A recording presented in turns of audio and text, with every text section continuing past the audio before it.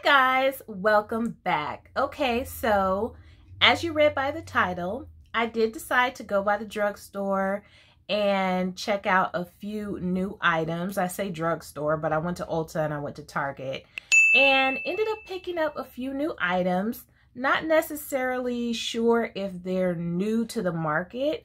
Some of them I'm pretty sure are, but other ones are just new to me because you guys, like I said, I have not been in the drugstore in quite a while. So since I'm on a low buy and I'm really like avoiding Sephora like the plague, I said, you know what, let me just go ahead and curb my little urge and go to Ulta and Target and see what they have on sale or what's popping right now. So with that being said, I did go pick up a few new items to try out for you guys today. So I'm just doing a full face trying these items out. This is the look. So hopefully you guys are excited to see what I'm trying out and my thoughts, first impression thoughts on these items because I'm kind of excited. I'm really, really liking some of the new products that I'm trying today. So let's just go ahead and jump into me trying out all of these new drugstore items that I picked up and I'll give you my thoughts. Okay, you guys, so the first product that I purchased when I went to the drugstore is this e.l.f. All Day Stay Eyeshadow Primer. Now, once again, I don't know if this is new, but it's new to me. This is what it looks like. It's kind of like a light pink, creamy consistency. Now, you guys know I don't like using my fingers to apply products on my face except for like moisturizers or primers. So I'm using a large brush just to blend this and spread it out all over my lid. And I was a bit confused because it looks like it just disappeared. But I decided to go ahead and try tapping it on with my finger because I'm like, well, maybe it'll show up then. But I guess it's the eyeshadow primer that's not supposed to show. It just kind of applies to the lid to help the eyeshadow adhere. It says that it's supposed to be crease proof. So yeah, and actually I didn't have any issues applying my eyeshadow and my eyeshadow did stay on nice and bright all day. So it actually worked very well. I only paid $4 for this eyeshadow primer and it's just going to take some getting used to because I'm used to my primers having some type of opacity to them. Now this here, I picked this up at Target. It's the LA Girl Pro Artistry Eyeshadow Palette. I've never seen this eyeshadow palette anywhere before. So when I saw it at Target, I was like, whoa, is that new? So I don't know if this is new or not, but once again, it's new to me. I picked it up for 14 bucks. It's in the style of some of their latest kind of nicer eyeshadow palettes that I believe they typically charge about $20 for, but as you can see, there's some gorgeous pops of color in there, blues, greens, gorgeous warm tones, as well as smoky um, shadows that you can use. So I think it's a very nice, well-rounded palette. So I'm starting out with this orange shade. There are names for this palette, but I'm not using them. They're on a plastic sticky but I'm just placing that orange kind of terracotta shade in my crease area and as you can see the pigmentation is showing up very nice. It popped instantly. It just is very very pretty. It blended out nicely on that eyeshadow primer. So first impression on that elf eyeshadow primer I think it works very nicely. Um, I don't know if just the shadows blend out very easily or if that primer helped it out, but it was smooth sailing with this eye look today using that primer. So this color, I just placed it in my crease and kind of blew it out. Very nicely pigmented. Now this brown shade here, as you can see, it's not that dark or deep, but I did want to use it to kind of add a little bit of depth to this look. So I just kind of tapped it in the outer and inner corners and dragged it throughout my crease. And like I said, it's not that dark as you can see, but it did do a very nice job of just kind of warming up and deepening my crease area. Sometimes eyeshadows, of course, do not um, place well on top of each other. And that could be it too. Maybe if I was just using this by itself, it might show up a little bit darker. But for what I wanted it to do today, it worked out just fine. And as you can see, these shadows blend into each other very nicely. Also, no skipping, no patchiness. Very nice for LA Girl. Now I decided to do something a little different. I'm taking this gorgeous like navy blue shimmer shadow and just using kind of like a small pointer type brush to place that in my inner and outer corners and I'm just kind of dragging it throughout my crease. I don't typically work shimmers like this, you know, blending them out and kind of using them in the corners like this, but I wanted to do something a little different. And when I saw this color, I just thought it would blend so nicely with that brown and orange. And y'all, these shimmers in this palette, oh my goodness, LA Girl did not come to play with these palettes. Did I tell you I paid $14 for this palette?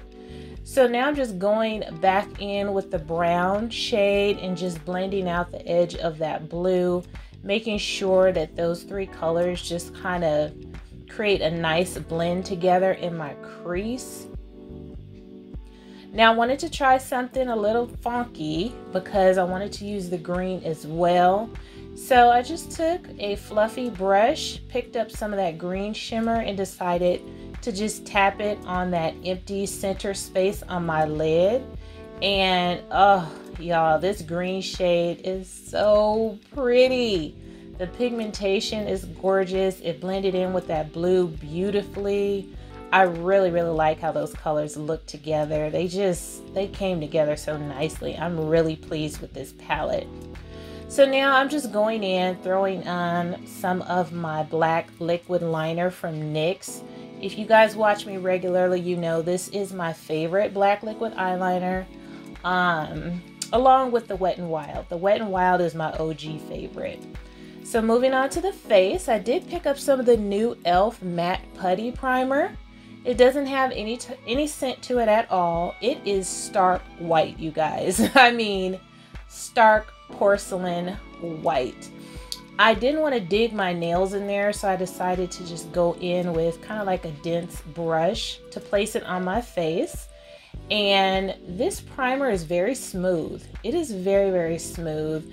I'm kind of surprised with it being the matte one because it actually looks a little bit luminous to me when I put it on. I'm like, did I get the right one? But yeah, this is the matte putty primer. And as you can see, it does leave a white cast when you put it on. I actually like putting my primer on with a brush. I might do this more often.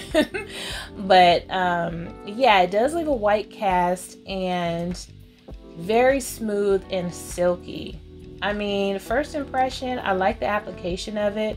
Only time will tell as far as, you know, the longevity of my foundation and makeup and how it reacts on my skin. But first impression, I like it. It doesn't feel sticky or tacky or anything to me. It's just nice and smooth.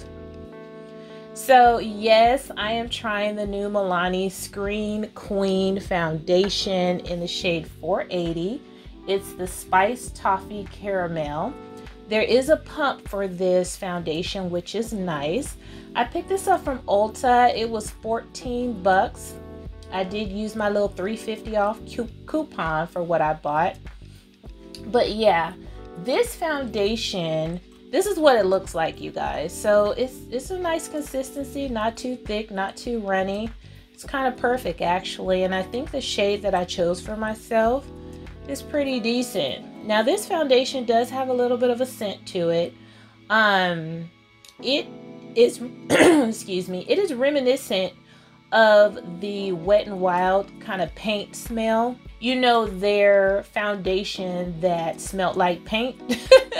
it's reminiscent of that to me, but it's it wasn't as strong. It wasn't as strong to me as the Wet n Wild one and it did dissipate as I put it on my face. Um, you know, the smell went away very quickly. By the time I was done applying it, I couldn't smell it anymore. But you guys, this foundation claims luminous natural skin finish, buildable light to medium coverage and long wear. Now, I was pretty surprised with the light to medium coverage. Yes, I can still see some of the dark discoloration around my mouth, but most foundations I can still see that, even if they claim to be full coverage. So I was pleasantly surprised with the coverage of this foundation. I thought it was going to be more like an extreme light coverage, but it's definitely a very nice, to me, medium buildable um, foundation coverage. And if it is enough coverage for me, then I know it's really good because, like I said, I am a full coverage chick. So, first impression just upon application, the scent leaves something to be desired. Um, I do like the shade that I chose for myself. I like the coverage. Um, the finish, I mean, it is a luminous foundation, so I can't complain about that. You guys know I love matte foundations which is my preference, but I can deal with a luminous foundation because I always set my face anyway with powder. First impression, I like it so far. I am definitely going to keep you guys posted on my thoughts on this foundation because I plan on using this for the next couple of weeks, you know, or until I get tired of it, mixed in with some of my other foundations. Yeah, I'm definitely going to use this more, but I like it. So I also picked up some of the NYX Born to Glow concealers. I could not resist. I love trying out new concealers. Now I did pick up Warm Caramel and Warm Honey because I wanted one a little bit lighter and one that I would use for every day.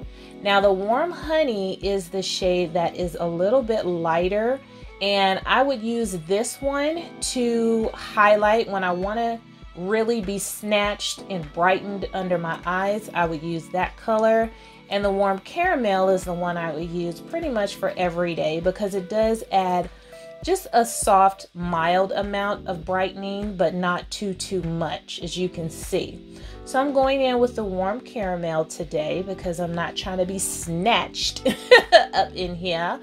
Now it does have one of those little sponge tip applicators, which I do not like. I don't like those. So as you can see, I put some of the concealer on the back of my hand and I'm just tapping it on with a regular eyeshadow brush because I prefer doe foot applicators when it comes to concealers as opposed to these little sponge applicators, but it's not a big deal for me. It's not a deal breaker. But as you can see, the coverage is very nice on this concealer. It goes on nice and smooth. Um, the shade range is pretty decent also. I mean, when I was in the store, they had a lot of different um, shade ranges. They had like different steps, like 15.5, 15.7, which is really cool when it comes to concealer. So, yeah, I actually like this concealer. Not sure about the pricing. It was what, nine bucks for 0.17 ounces, I think. I was kind of comparing it to the Juvia's Place where you get, I think, twice as much. 0.34 for 14 bucks. And, you know, so if it goes on sale, yeah, I would definitely pick up some more. $9 is not that expensive for a concealer, but when I compare it to other ones that I really, really love, like the Juvia's Place or the e.l.f., where you get more you know it's like i kind of take those things into consideration now when i'm purchasing things because if it's of equal you know if i like it just the same as something else i don't want to be paying a lot more for something when i like something else just as much that's cheaper so anyways enough about the price this concealer blends out very nicely it is nice and creamy. It's not drying, mattifying, anything like that. As you can see, it does give you a really nice kind of luminescent glow or healthy glow, I should say. Very, very nice. I love when concealers blend out and just seamlessly blend in with your foundation and that's what this concealer does. If you like full coverage concealers that are nice and creamy and just give you a little bit of radiance, then you'll like this. You'll like it a lot. Now I'm just going in with some of my Fit Me Loose Setting Powder. Um, This is not new to me or to anybody. it's not new at all. But I decided since I am doing, you know, a more affordable drugstore face today to go ahead and pull out my Maybelline because in my shop, my stash, I'm going through my Becca powder and that is not cheap or, you know, affordable. So this Maybelline Fit Me Loose powder is also one of my favorites. I mean, I have nothing bad to say about this powder. It is an excellent powder from the drugstore. Now to set my face, I am using this Kiss Pro Touch Matte um, foundation powder. And this I am using in my shop my stash so i didn't cheat with this one. I like this powder as well. It's a very nice powder to use to set your face. I don't use um, powder foundations alone. Of course you guys know i can't do that. I have too much discoloration but yeah as a setting powder it works really really nicely i don't like it better than my Too Faced but i do like it now I'm using my Morphe Glamabronze bronzer because the bronzers that I have in my shop, my stash, are not drugstore either. And plus, this is my favorite bronzer anyway, so yes, I am cheating. but I am still using all my shop, my stash stuff this week in my other videos. But yeah, my Morphe Glamabronze, all-time favorite. Um, I have not come across another bronzer that I like as much as this one. The Hoola bronzer is amazing, but I still don't like it better than my Morphe Glamabronze. Now for blush today, I am using my Shop My Stash blush. This is the Morphe 8C blush palette. Oh my gosh, the colors in here are so pretty, you guys. These just berry and plum tones. Oh, so, so pretty. So I'm using this last shade here down at the bottom for my blush today and I'm just gently tapping that on my cheeks because I don't want to go ham. You guys know it is mad easy for me to go ham with the blush. So I'm trying to chill today, but this blush is nicely pigmented and super, super beautiful. If I would have been thinking I would have used more of an orange tone blush just because of the orange that's in my eye look, but it still looks very pretty. Now this here, I was so excited to get this. I never buy Physicians Formula because they are a little bit pricey to me, even though they are drugstore. But this is the Rose All Day Petal Glow. This packaging, you guys, it is so cute. And I mean, I love how it comes with this cute little brush in here. I didn't use it because I don't really typically use brushes like that. There's also a mirror in this compact, which kind of really, really shocked me, but I like that a lot. And look how pretty this highlighter is, you guys. It's so pretty, and it actually smells like rose petals. So, so nice. So, I wanted to go ahead and swatch this for you guys so you can see what a swatch of it looks like up close. You see how gorgeous and soft and reflective it is. So pretty. Now, what I will say about this highlighter is that it is soft. Um, it's not, gosh, it's hard for me to describe when I say soft. I mean that as far as describing how it looks as well as how it feels. It's just so soft. And I like that about it. It's not harsh, it's very easy to work with. And I definitely think that if you like this type of glow, you'll really like this highlighter. I think I paid about 14 bucks for it at Target. So I'm just gonna run through the rest of my eyes right quick, you guys. I'm using my Blue Profusion eyeliner, going in with the dark brown and the orange from the palette to smoke out my lower lash line. And so this is what my lower lash line looks like after doing all of that. Now for my inner corner pop, I'm going into this really pretty champagne type shimmer shade from the palette. And I went in initially dry. I like to do that sometime just to see how pigmented the shadow is. And it's actually very bright dry. But I decided to go ahead and spray my brush just to make it pop a bit more. And yeah, that definitely made it pop even more. And it's just so, so pretty. Yes, I'm still using my Thrive Cosmetics mascara. I'm so sick of this mascara, you guys. I know some of you guys are like, KK, just throw it away. Just get rid of it. But no, I'm going to finish this mascara. Don't get me wrong, it is an excellent mascara. I love it. But you know, you just get sick and tired of using the same thing for so long. I've been using this mascara for months so for my lips, I'm just doing my usual nude lip routine. So I'm going in with my ColourPop BFF4 lip liner. I love this lip liner. And for the lips, I'm using my matte liquid lipstick in the color Slow Down. I bought that from the Shayla collection. And on top of that, you guys know it's my e.l.f. Mocha Twist Plumping Lip Gloss. It's just a perfect nude lip, you guys. I don't have to think about it. It's so easy. So for setting spray, we're using our Wet n Wild Rose All Day setting spray. This spray is bomb, you guys, because you can use it to prep, to prime, to refresh, to set. It has so many different, you know, ways to use it. It smells good and it actually works. So I really like it. But so this is the drugstore face, you guys. I have to say, I am extremely pleased with this face. I can't even lie. I love everything I used today. I did not have one single dud, but I think the standouts is the eyeshadow palette as well as the Physicians Formula highlighter. I love both of those. So, yeah, this is my face for today. Hopefully, you guys enjoyed creating this drugstore look and I think it came out nice. So thank you guys so much for watching and I will see you on the next one. Toodles!